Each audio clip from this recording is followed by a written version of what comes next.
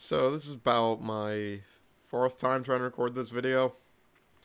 So this video I want to be talking about digital distribution and the upcoming end of the PlayStation 3, PS Vita, and PlayStation Portable online stores.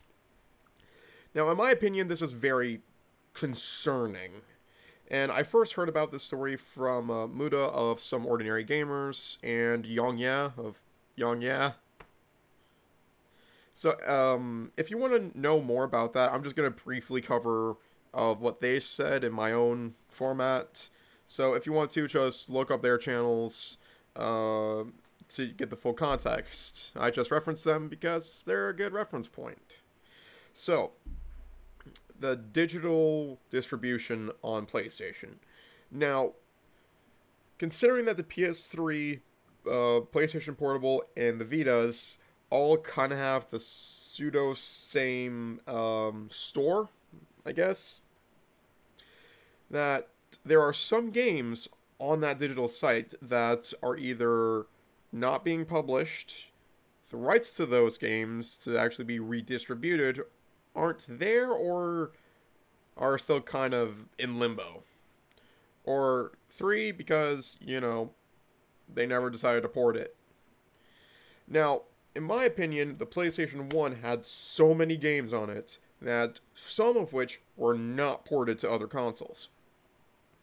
Like, for example, the original Resident Evil trilogy. Like RE1, RE2, and RE3. Now, RE1, now they all had their remakes. Like RE1 in 2002, and then was brought into the modern gaming sphere um, in 2014, I believe, 2015, on pretty much everything under the sun at that point, and was even brought to Switch a few years ago. I think 2017, 2018, along with 4, 5, and 6 on the Switch. And the one thing that concerns me is that the original PlayStation uh, Resident Evil trilogy never got ports to anything outside of that. Well, okay, they did have ports outside of it, but were not brought into the modern sphere. Now, for example, Resident Evil 1 had a Sega Saturn launch and a Windows 95 launch alongside the PlayStation 1. It has not gone anywhere since those times. And for and then was brought on the PlayStation 3 uh, about 2008, 2009, uh, roughly before the 2010s happened. So there's that problem. And now with Resident Evil 2 and 3 Classic, they were brought onto the Nintendo GameCube alongside with a remake of 1, RE0, and RE4. And those are really hard to find. Now, Resident Evil 2 had the PlayStation 1 launch, a Nintendo 64 launch, and a Windows 95 launch. I know there's others, I can't remember them off the top of my head. And the and of course PlayStation 3 a few years later, about roughly a decade or so later. And then same with Resident Evil 3. Now Resident Evil 3 Classic was only on PlayStation 1, Windows 95, and GameCube to my knowledge. Now it was probably ported to other systems. And then of course PlayStation 3, uh, late 2000s, early 2010s. Now, this concerns me considering that once the PlayStation Store for PlayStation 3, Vita, and Portable are dead, you cannot legitimately get those anymore. You'll have to buy them secondhand off eBay or hope you still have the original physical copies. Now, another series would also be, in my personal opinion, would be the Legacy of Kain series. Now, the first two, Blood Omen and Soul Reaver, were on the PlayStation 1, but they had other ports. Now, Soul Reaver was also on the Sega Dreamcast, which was, in my opinion, one of the better ports of it, and also on PC, which you can still buy on GOG and Steam. I'm not shilling for the game, it's just I fucking love that franchise. Now, Blood Omen was only on the PlayStation 1 and the PC vert, and on PC but it only had a physical PC copy because Steam really wasn't a thing around 1997, 1998. And while yes, Soul Reaver 1 and Blood Omen 1 were ported to the PlayStation 3 stores a few years after. Now, what's interesting is that Activision has the rights to publish Blood Omen 1 on PC, but have yet to relinquish those rights. And that's really saddening because Blood Omen 1, while yes, it is very archaic and is about 25 years old, same with Resident Evil now that I think about it. When the online store for a PlayStation goes out, you legitimately cannot buy the game. You cannot legitimately buy the game from the developers, which I think on the PlayStation Store, I think Crystal Dynamics or Eidos Software still has the rights to, for Blood Omen 1.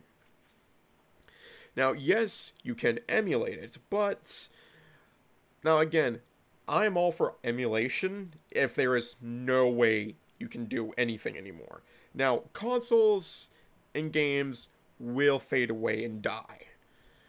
Now, it again, supply and demand. Uh, God, I sound like an economics class, but that's how this shit works. With the supply, you know, it's there. And for the demand, the supply on digitally will keep the demand satisfied. But once the digital runs out, people will flock to eBay and buy as many copies as they can to jack up the price and thus gain a profit on a game that is like almost three decades old. Fucking shit. And that same is going to happen with the original Resident Evil trilogy and a lot of other games that were only on the PlayStation 1 and never really to have ports or remakes or remasters that were good. Resident Evil 3. But that's still another thing though of if things get remastered and or ported to other consoles of what would get lost. Now remakes can be done right, like the Resident Evil 1 remake in 02 showed. You can remake a game, still have the same stuff in there, but a lot more, and kind of take out the things that kind of weren't all that good.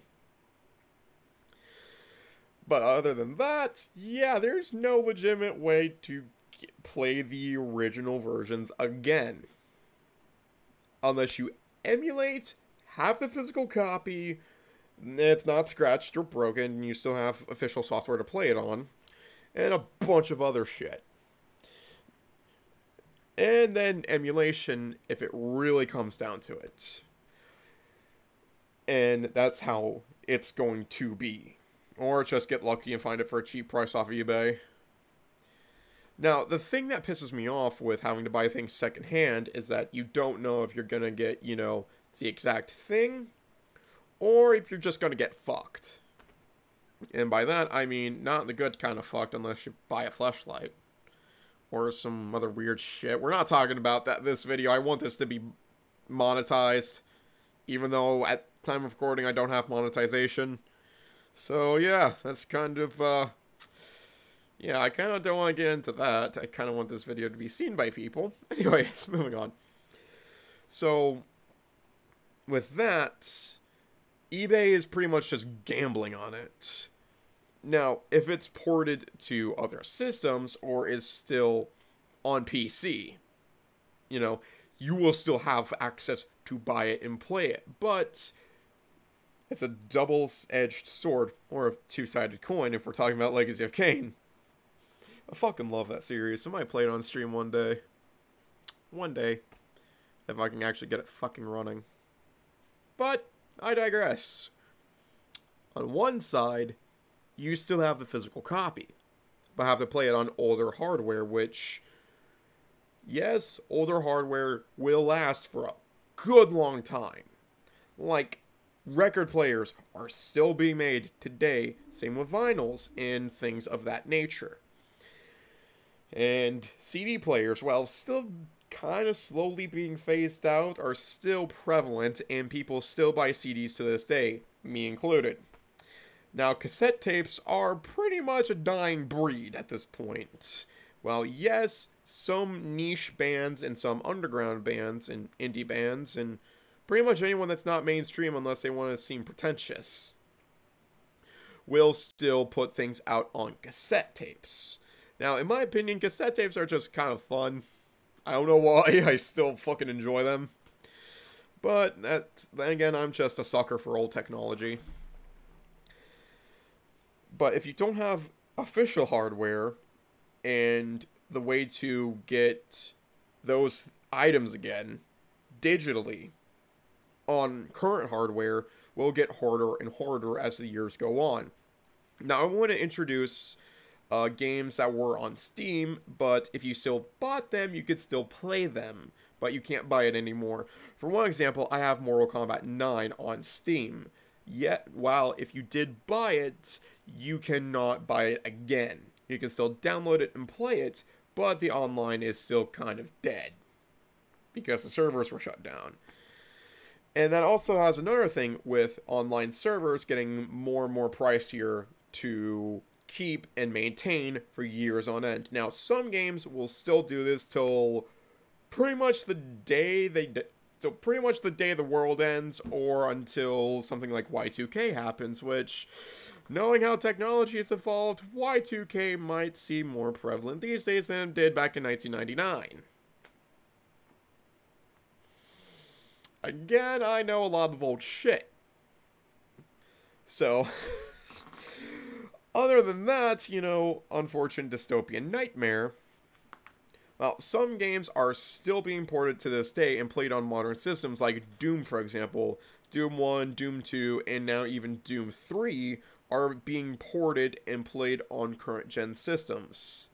Like, I can go and grab my Switch and download the original two Dooms and Doom 3, I think, and Doom 64, and much the entire Doom series now that I think about it, because Doom Eternal is now on Switch. God, I want to put my Switch through the grinder with that game, but kind of busy playing Persona 5 Strikers at the moment. That's another series that should have ports and remakes. It's the Persona series. Well, Persona 1 and 2. Now, they're really harder to hard to find considering that Persona 1 and 2 were only on the PlayStation 1. Uh, While P1 did get a PC port and were on the PSP, they were just kind of Americanized in a very weird fucking way. Now then Persona 3 and Persona 3 FES and Persona 3 Portable, those are going to get the ugh, fuck me those are going to get a lot harder to find, considering that I don't know there's any good emulations left of those games. And considering that the original softwares for those games and to get them legitimately are getting a bit harder, especially P3 Portable, considering that's more of a gem, I guess, considering that, you know, you see it pretty much the same game, but completely mirrored. And then Persona 4 Golden was put on Steam for some weird fucking reason. I ain't arguing. Please put more Persona games on Steam Atlus, please. Please. You already put P4 Golden and P5 Strikers on there. There's more. And I think even Shin Megami Tensei 3 is actually coming to Steam. Yeah, it is coming to Steam. And PS4 and Nintendo Switch. Even though they were already out on Switch and PS4 over in the East. They're now finally getting localized to Japan and the West, and I really hope that Dante back in SMT3 is voiced by Reuben Langdon. Not whoever they got for Dante in Devil May Cry 2. Devil May Cry 2 sucks. I don't know why people still want to play that game. I hate that game. A lot of people hate that game. Even the creators of Devil May Cry 2 hate that fucking game. I still prefer Reboot over Devil May Cry 2, so suck my dick. Anyways, moving on from getting flamed in the comments below. So, what does all this mean with PlayStation shutting down server, shutting down the stores of the PS3, Portable, and Vita? Since they were introduced in 2007, and they've lasted 14 years. 14 fucking years. And that is impressive, but it also comes at a cost considering there are some exclusive games that, while yes, some are playable on the PlayStation now, like Resident Evil Code Veronica X and Metal Gear Solid 4. What about when those servers for the PS4 go out and they're not ported or on Steam or anywhere else? You will have to buy them on older hardware and hope they still work. Now, this is a more terrifying concept to theorize, considering that once all the physical stuff goes out and once you can't buy it digitally, piracy is going to increase and emulations are going to go up higher and higher. Now, I am all for emulation. When there is no necessary means to get it physically or legitimately anymore. Which is why I've kind of I'm kind of starting to go wanting to go out of my way to download Blood Omen Legacy of Kain, considering there's no official PC port that you can readily buy unless you get lucky off eBay or at a yard sale or find someone who has it and borrow it from them and move and never come back. I'm not saying that's happened to me. I'm just saying I just know because that's something I've pretty sure would have expected something to happen. I'm not advising that unless you're a horrible person. And I'm not so much of a horrible person. I may hate the world and a lot of things in it, but I'm not that terrible of a person. Oh dear God, what the fuck am I saying? Uh, I really wish I knew how to edit so I can edit this part out. Anyways, moving on. So emulation is necessary and is good if there is no way possible left considering now back to Blood Omen. Since Activision still holds the rights to publish it on PC, and they're pretty much doing nothing but just have it in a vault and will never bring it out. Unless someone buys the rights, which Activision more or less won't do. And that's the one thing with remasters and ports, is that if you remaster a game, now, say for example Call of Duty Modern Warfare Remastered, it is still on Steam, as of now that I think about it. And it is still being played. And it is not hacked to fuck, like original Modern Warfare is on PS3 and 360. Uh, Steam has dedicated servers, so I don't think I'd need to worry about that. But here's another thing. With this happening, what's going to happen to other uh, services? Like, Nintendo, for example, they already did it with the Wii and I think the Wii U. What if they do it for the Switch? When if they do it for the Switch? Now, Xbox, in my opinion, has done it better. Now, I don't know about original Xbox Live, considering I don't know if there's actually things on the original Xbox Live that you could buy. I don't know. I wasn't a part of that era, unfortunately. I was more for PS2. So, with the Xbox 360, a lot of things there are still readily available to purchase and will more than likely still be available to purchase due to backwards compatibility, which is something that Sony has kind of faltered with after the PS4. Now, they did somewhat remedy this with PlayStation Now, considering you could play some PS2 games and some PS3 games. Not the entire catalog. Now, Xbox is doing something similar with this, but to a much better extent. Now, considering that you kind of have to take a gamble of what's there or not, but there's a more than wide selection of backwards compatible titles and are still being readily made available for backwards compatibility. And this is still good, considering that some older games from the 360 are still getting ported and backwards compatible. I mean, hell, even some Xbox Classic games are backwards compatible, like Knights of the Old Republic 1 and I think KOTOR 2. I'm not sure on that one. I know KOTOR 1 definitely is. And Star Wars Republic Commando. Some A lot of the Star Wars games, actually, now I think about it, and pretty much a lot of LucasArts games. And some of Bethesda's older games, like I think Elder Scrolls 3 uh, Morrowind. I think that's what it is. But definitely a lot of like first party um, Xbox games. I don't know if the original Halos are. But then again, considering that the Master Chief Collection kind of exists, that's kind of a moot point. But still, what does this mean for digital distribution in the future? While yes, some games and some game add-ons are taken off of PlayStation, Xbox, Steam, Nintendo, pretty much anything. Sometimes even entire games get removed, like Cyberpunk 2077 on PlayStation, for example. That's not coming back. Xbox even has a fucking warning on it of like, warning, this game ain't what it's cracked up to be. PC, on the other hand, I'm a bit of a PC elitist. So, yeah, uh, PC's just like, just, uh, be prepared, okay? Some fucky shit's gonna happen. I've had some fucky shit go on.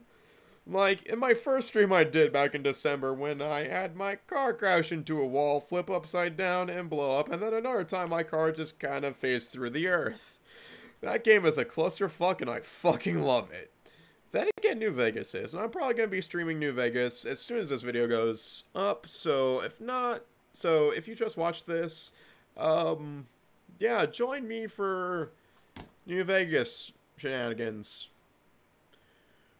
We're going to be doing some righteous work, and I'm just going to continue playing through Honest Hearts. Maybe Lonesome Road. Maybe some vanilla stuff. Maybe kill the Brotherhood of Steel, but I really don't want to. Considering I've worked so fucking hard to get the Brotherhood to fucking like me. That stupid fucking PC quest where you have to isolate that fucking virus is just. Oh, I hated that quest so much. Who Obsidian thought that was a good idea was a fucking idiot. Oh, but I digress before this goes on to about be a half hour long. So, anyways, short story. PlayStation stores shutting down. Not good, considering there's a lot of old PS1 games and some PSP games you can't really find without looking or getting lucky on eBay. And some PS2 titles and PlayStation 3 DLCs. So, once the store goes out, all of that is getting erased. You can't redeem vouchers anymore. You can't do anything anymore. Now, you can still download those games as soon as you buy them. And you still re download them, but that's also another point. When will the download period end? That's another thing to be concerned about is when does the download period end? That is something that scares me too. Considering I used to be a PlayStation fanboy. Right? I had a PS2 growing up. I also got the PS3. Then over then a few years after I got the Xbox 360.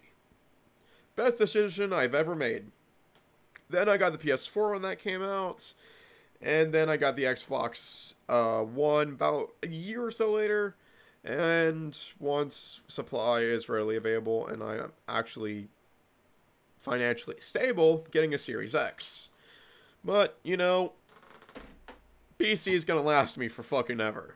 Because I don't have to buy a, like, a new computer every seven years. Or six or ten, depending. So yeah, and plus with some exclusives being, you know, only for those systems like like I said, Metal Gear Solid 4. And also the the first two Injustice games, Inju- or not Injustice, fuck, Infamous. With Infamous 1 and Infamous 2 being only for the PlayStation. Now, yes, you can still play those on PlayStation Now on the PS4 and I think the PS5. I'm not sure about that. If someone has a PS5, let me know in the comments down below. But yeah, that's another thing. I fear this will be a trend continuing on. Now, Xbox does, you know, still keeps their services up. But with the Xbox 360, it's kind of getting a little bit more and more harder. But some of it is still going to be more readily available, considering, you know, backwards compatibility on the Xbox One and the Series X, I think. I'm not sure about that but also with some DLCs actually going free, like uh, the map packs in Halo 3, Reach, and 4. I think. I'm not entirely sure about that, but they go free. So there's all that. But the bad part is when does it all end? And with the servers of the Xbox 360 Halos, like Halo 3, ODST, Reach, Halo Wars 1, and Halo 4, all of those are going to be gone by December.